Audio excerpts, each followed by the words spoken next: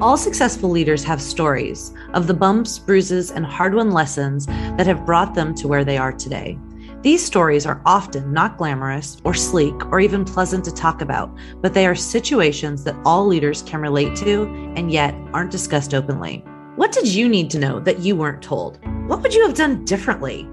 What advice would you give yourself if you were just starting out?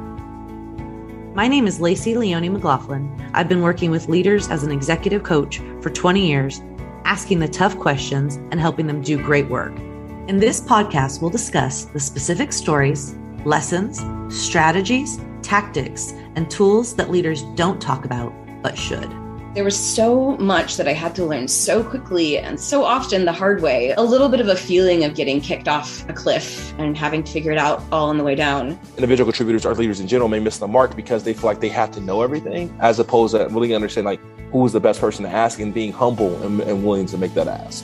I think the thing I had to learn the hard way was you're only as valuable as your team and as the team you build.